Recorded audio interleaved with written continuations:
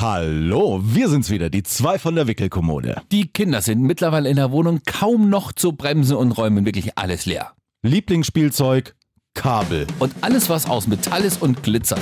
Und je älter das Kind, desto höher die Bedürfnisse. Aber müssen es deshalb schon Weihnachtsgeschenke sein? Lass das mal die Papas machen. Zum allerersten Weihnachten tut's doch einfach Geschenkpapier als Geschenk. Was, wie, du, ihr schenkt ihm nur Geschenkpapier? Na klar, er liebt Papier. An das andere kann er sich eh nicht erinnern. Oh, Lass das mal die Papas machen. Denn Papas machen das gut.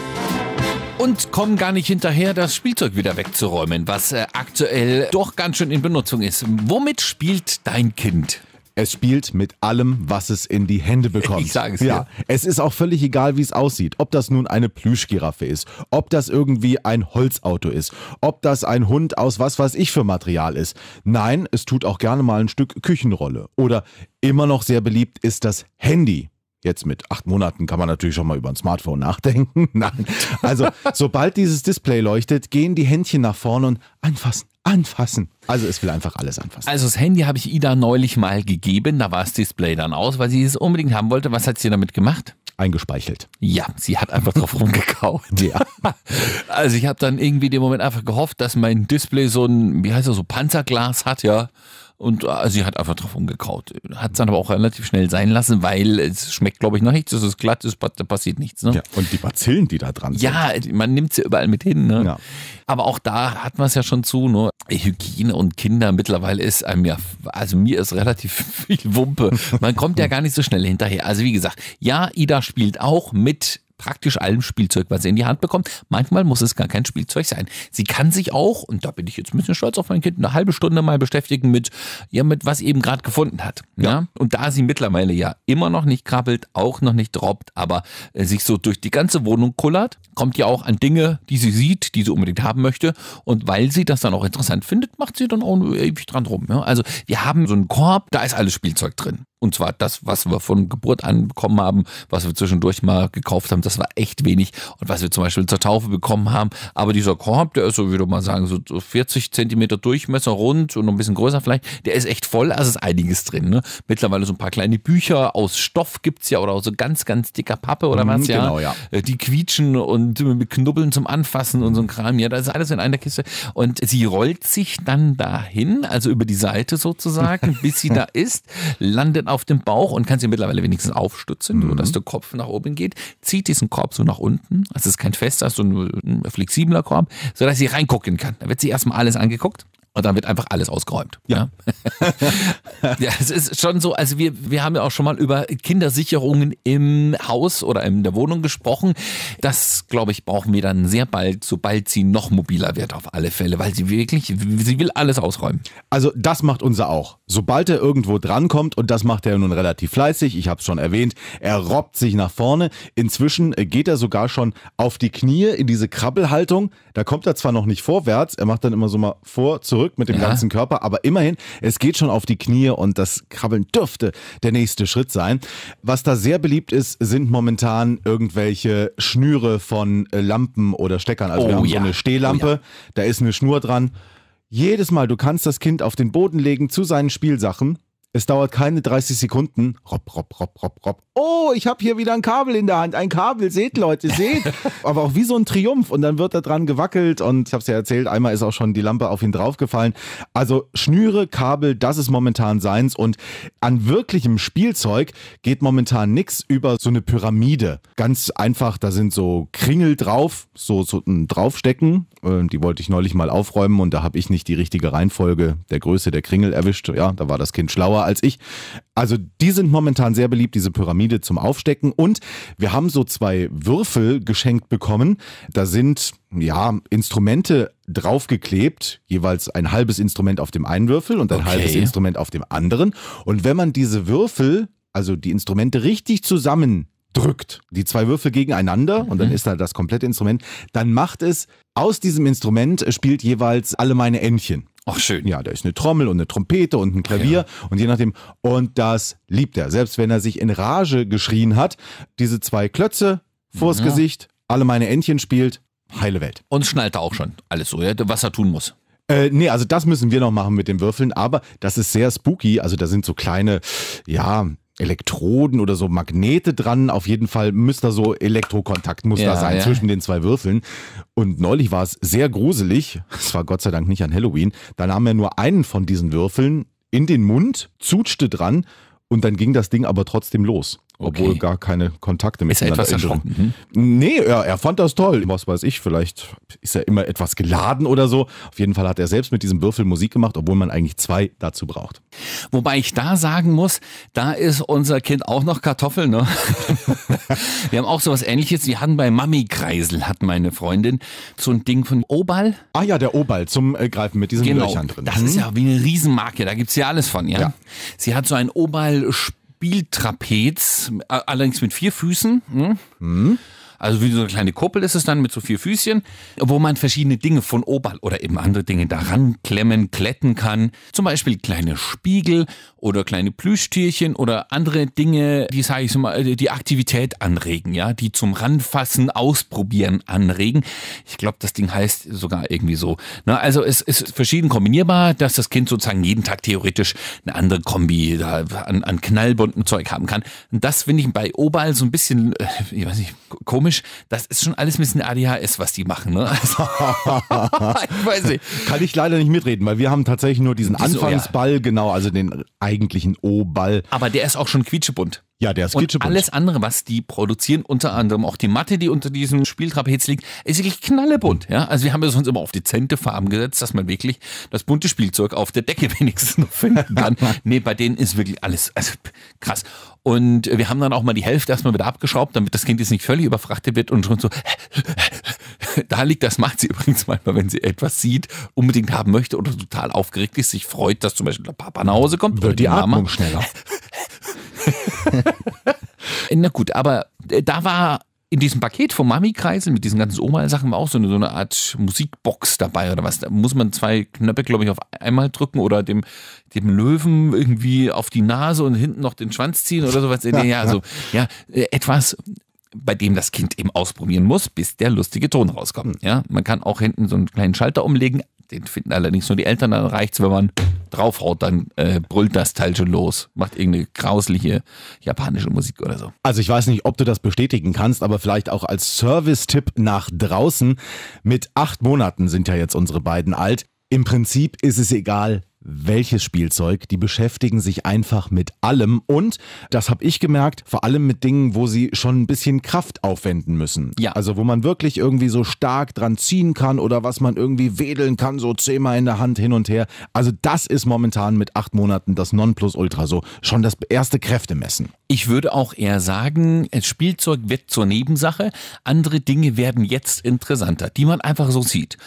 Bei denen man auch vielleicht sich denkt, oh, die Erwachsenen benutzen das. Ja, ich will es auch haben, ich will es auch probieren. Nicht nur essen, sondern eben auch was, was sonst so in der Wohnung rumliegt. Ich will da dran ziehen, ich will da irgendwas mit tun, ja. Und da bräuchte es aktuell, finde ich, gar kein großes Spielzeug. Klar, es gibt so Dinge, die schlau gebaut sind, die dann k- knacken, knistern, kullern, äh, Spiegel dran oder was, mit denen sich die Kinder vielleicht länger beschäftigen können. Deswegen sind die ja auch so gebaut, wo irgend noch ein Trick dran ist, den die rausfinden können.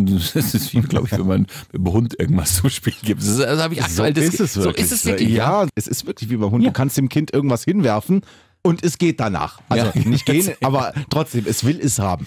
Bei den Schnüren und Kabeln, äh, da wollte ich nochmal einhaken, das ist bei Ida ganz genauso. Also sowas wie, du hast sie auf dem Arm und hast in deinem Hoodie oder so hast du so ein Bändel drin hier für die Kapuze. Das wird rausgezogen, bis es draußen ist. Da wird also alle Kraft ausgewendet. Und da- du kriegst sie auch nicht weg davon. Ne? Wir haben ja jetzt so eine kleine Wollschnur, so, so ein Ding zusammengefummelt und das an Kinderwagen noch angehängt. Ah, ja. Das ist das Beste, ja. Da wird die ganze Zeit dran rumgeschlabbert, dran rumgezogen. Die braucht dann nichts anderes, muss ich sagen. Ja. Es kann so einfach sein. Und wie du auch schon gesagt hast, wirklich alles das, was irgendwie Mama und Papa regelmäßig machen, da scheinen sich diese Kinder derart einzuprägen.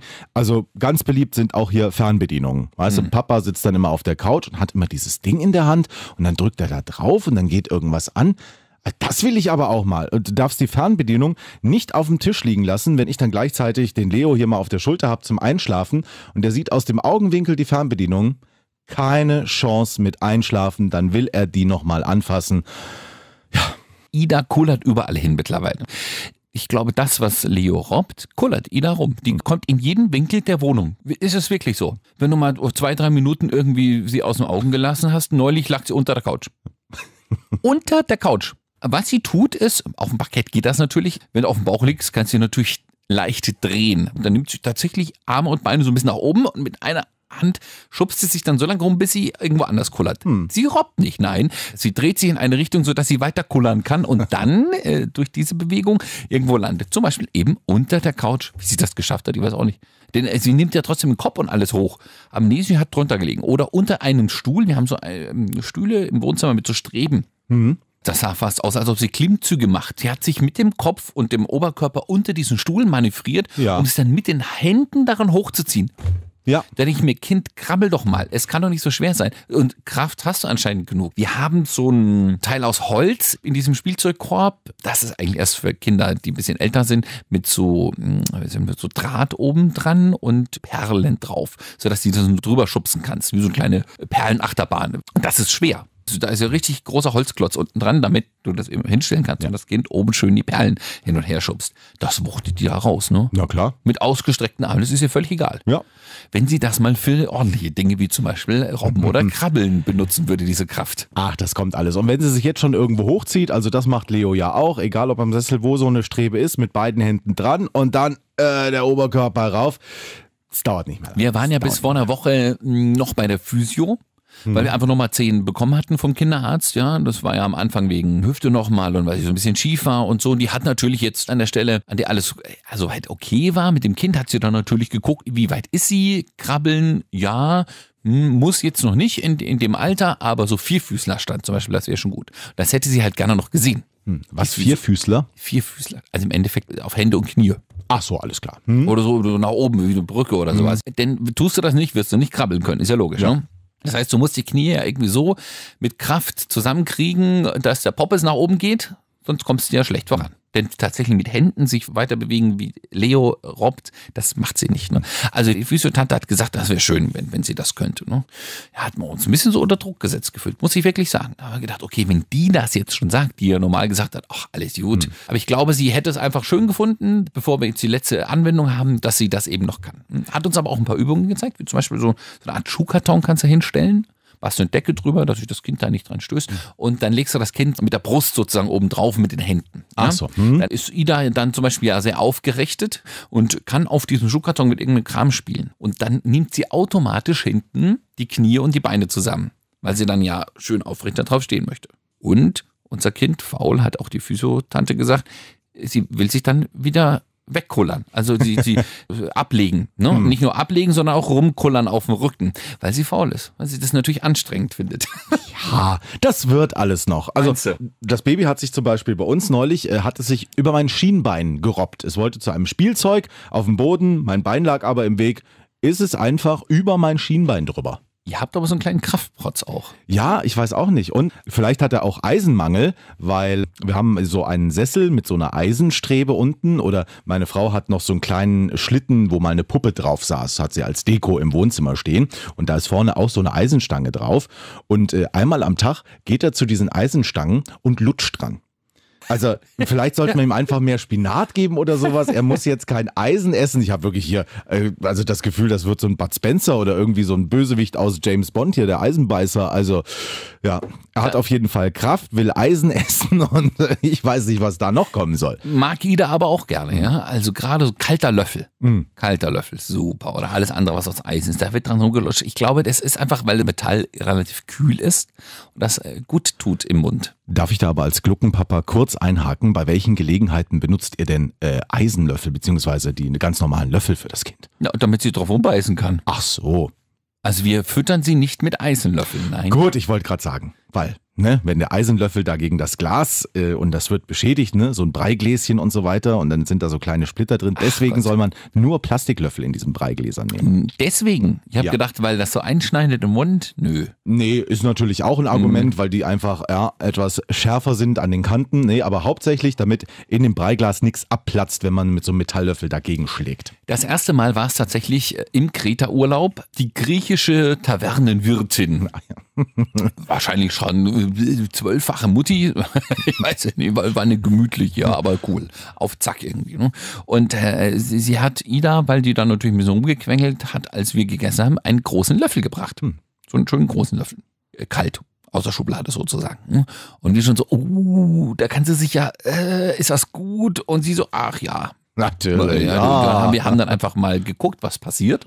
Das ist ja manchmal auch nicht schlecht. Dann hat die den erstmal mit der breiten Seite rein- reingestopft, was nicht schlecht ist, weil sie sich den dann ja nicht bis hinten durchschieben kann. Ja. Und äh, sie fand das super. Dann hat die so eine Viertelstunde lang auf diesem Löffel rumgekaut. Ja. Also einfach nur der blanke Löffel. Dann hat sie ihn aber umgedreht und hat ein großer Löffel einen sehr langen Stiel. Hm, und dann geht das aber auch rein bis in den Hat sie Rachen. sich ein einziges Mal bis hinten reingeschoben und dann so und hat gemerkt, oh, das ist nicht gut. Und da muss ich mein Kind jetzt mal wieder loben. Seitdem kein einziges Mal mehr. Garantiert 20, 25 Mal schon wieder mal so einen Löffel gegeben. Sie tut es aber nicht mehr. Siehst du, da ist unser ein bisschen anders. Ja. Der macht's beim fünften Mal auch noch. Ja, deswegen hast du ja auch diesen Schaumstoff. Äh, Helm, Richtig, ne? ganz genau, ja. Äh, Der zweite ist jetzt übrigens auch gekommen. Hast du den echt nochmal in klein bestellt? Nein, nein, der erste war ja beim Zoll festgehalten Ah. worden und äh, jetzt hat der Zoll ihn offenbar freigegeben und äh, jetzt haben wir einfach noch einen zweiten zu Hause. Also ich würde den Beide zu Preis groß. machen. ich weiß, du willst den nicht. Nein. Ja, für mich ja. Ich habe den unten mal ausprobiert. Da hast du ja in der Mitte mitgehabt, ja. Ja, das stimmt, ja. ja. also mir passt der. Äh, wie viel wiegt Ida eigentlich inzwischen, wenn ich das fragen darf? Also wir haben jetzt schon eine Zeit nicht mehr gewogen, wobei nur zwei Wochen ist vielleicht her. Das waren so gute acht Kilo. Ah, okay. Dann verwechselt sich's bei euch. Wir kommen langsam ran. Wir haben jetzt tatsächlich die 8,0 erreicht. Es ist tatsächlich Hm. so. Also sie hat, wenn ich das jetzt, ich meine, wann haben wir das mal gehabt? Da hatte sie siebeneinhalb Kilo. Das ist aber auch schon zweieinhalb Monate garantiert her. Ne? Hm. Also sie hat wirklich jetzt in den letzten Monaten wenig zugenommen, ist aber ganz schön gewachsen und Pendelt hat auch richtig einfach. Kraft bekommen. Also da merkt man es wieder. Man merkt auch, sie hat am Anfang richtig aufgeholt. Sie hatte ja das Kilo, was die meisten Babys mehr drauf haben. Wir haben ja nur 2,5 gehabt zur Geburt. Bis sie bei 3,5 war, das ging ja total zackig, ja. Und dann nochmal und noch eins drauf und noch eins drauf und noch eins drauf. Und das ist ja immer mehr geworden. Wir hatten ja schon ein bisschen Angst, ne? Das kleine Moppelchen. Ja, ja. Also für Aber- alle, die erst in den späteren Folgen dazugekommen sind, Ida war wirklich moppelig. Das Ja, muss man mal sagen. Ja, aber das hat sich ein bisschen verwachsen. Gerade so an Beinen sieht man es noch. Ja, das ist auch gut. Zum Schluss, jetzt war sie ja mal eine gute Woche richtig krank. Da hat das, glaube ich, auch schon was gebracht, Hm. weil sie dann auch keinen großen Appetit gehabt hat und alles gequengelt und hat wahrscheinlich auch das Schlucken wehgetan Ja, und so. Da war das, glaube ich, gut, dass sie einfach ein bisschen mehr hatte. Aber das hat sich verwachsen. Sie nimmt so zu, aber jetzt nicht dolle. Ne? Und ich habe am Anfang, habe ich mal gehört, so nach einem Jahr dürfen die so 10 Kilo haben. Naja, hätte die in dem Tempo weitergemacht, hätten wir das nach ich, sieben Monaten eben gehabt. Und das hat sich jetzt schon ausgebremst, das stimmt, ja. Aber gewachsen ist die, also die kommt mir immer länger vor und immer größer. Also sie ist eigentlich, wenn man sie sich so anguckt, lang und dünn. Wenn man sie jetzt nur nackig sieht, ist da noch genug Fett dran, ja. Aber das ist schon ganz schön groß. Hm, Es ist einfach so. Also wir mussten jetzt auch einmal den kompletten Kleiderschrank quasi schon einmal Ja. austauschen mit den Klamotten, die so nach der Geburt, das ging natürlich gar, nicht, mehr. mehr. Wir sind jetzt bei Größe, was ist das, 74? Ja. Mhm.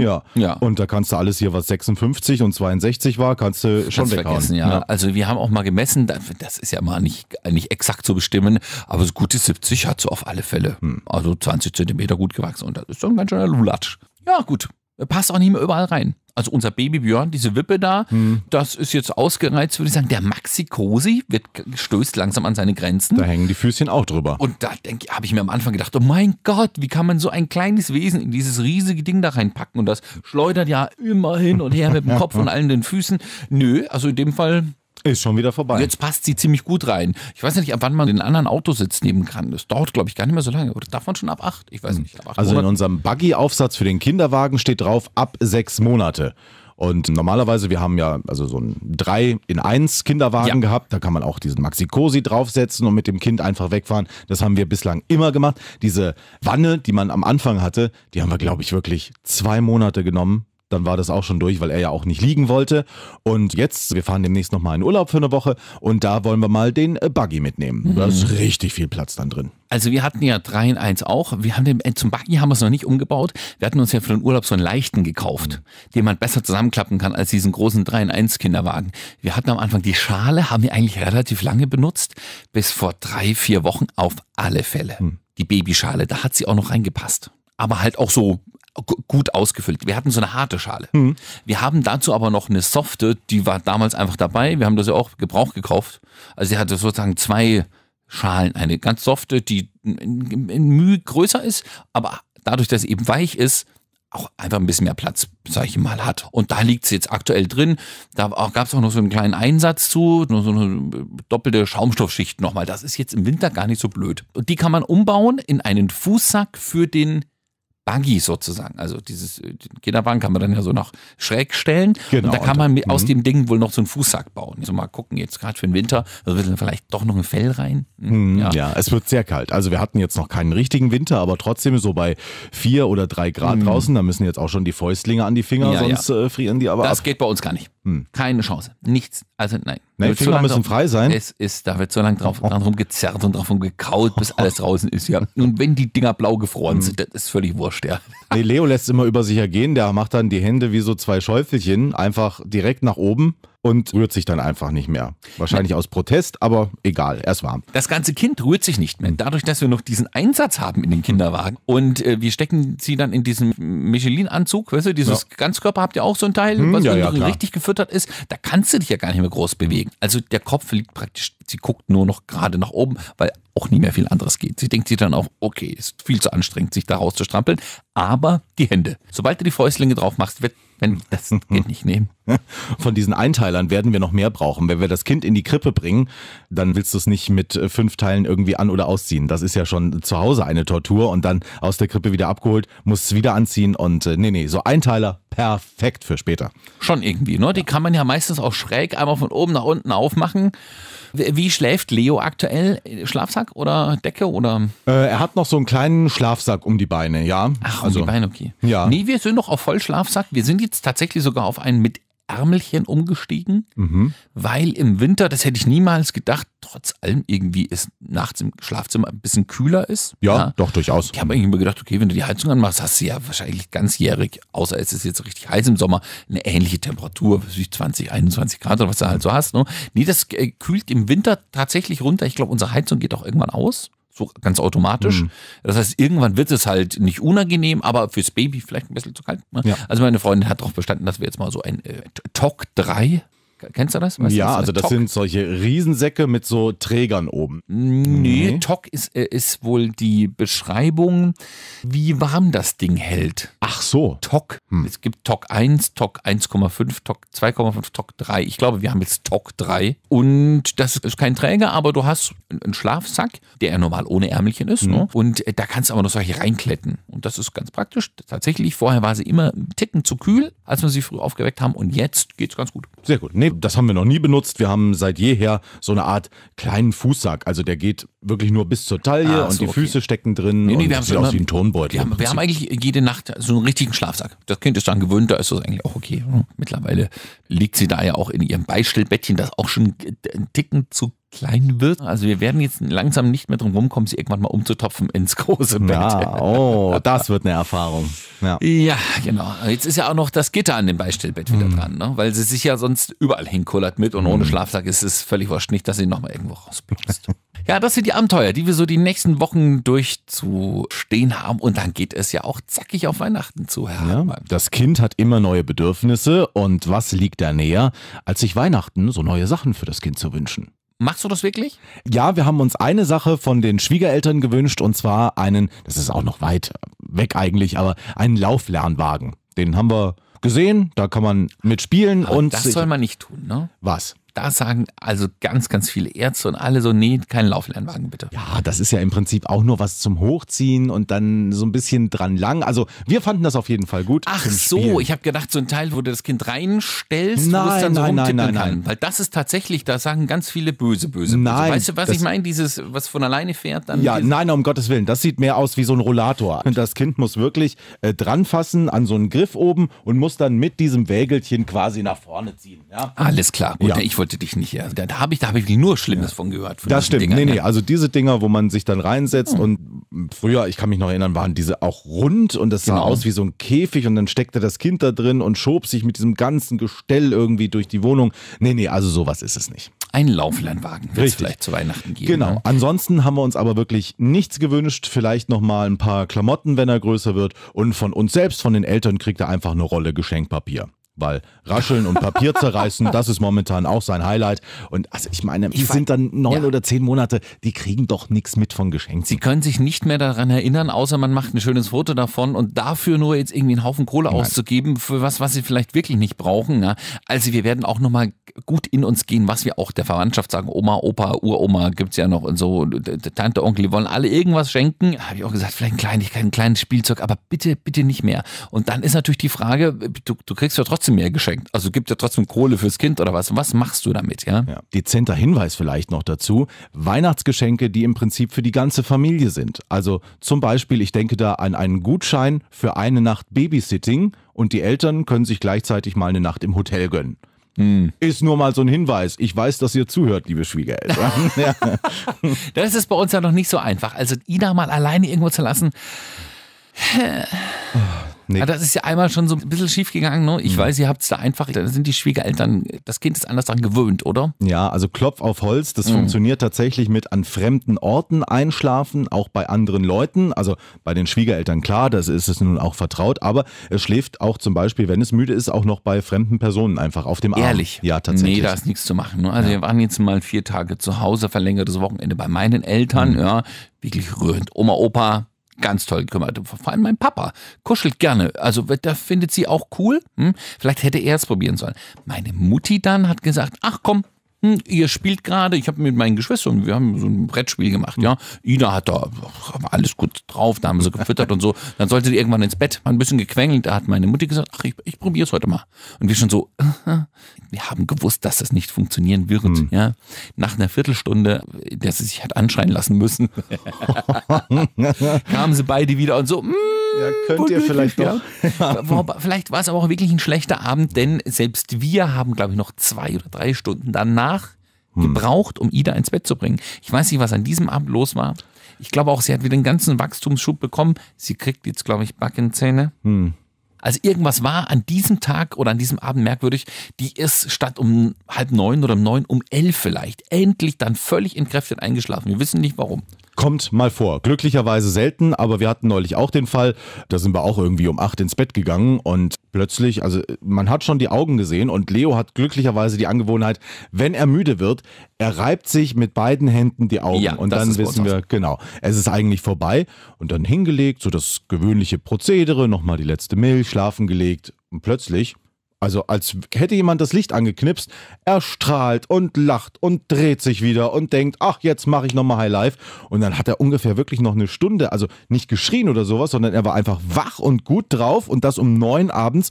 Und da hat es dann auch eine Stunde gedauert, bis er wieder gemerkt hat, ach, es ist ja doch schon Abend. Hm. Sie kriegen einfach mehr mit. Sie nehmen mehr auf. Ich glaube, sie haben abends mehr zu verarbeiten und sowas wie, oh, jetzt hat mich mal irgendjemand völlig Fremdes ins Bett gelegt. Das packt das Kind auch noch nicht und das kommt dann alles zusammen. Hm, schwierig irgendwie. Also Ida war da auch kaum ruhig zu stellen. Hm, Nach drei Tagen war dieser ganze Spuck wieder vorbei. Also die hat doch noch zwei Tage schlecht geschlafen, schlecht eingeschlafen. Und jetzt ist wieder alles völlig normal. Wer weiß, woran das liegt. Wir sind ja auch immer gespannt, was andere Papas so zu berichten haben. Wir laden euch immer ein, zu schreiben an papas.antennethüringen.de und beim nächsten Mal haben wir uns einen Papa eingeladen, einen prominenten Papa. Genau, weil der Herr Hartmann hat ja gerade gesagt, noch eine Woche Urlaub macht. Ja, hab ich gedacht, ich rufe mal einen anderen an.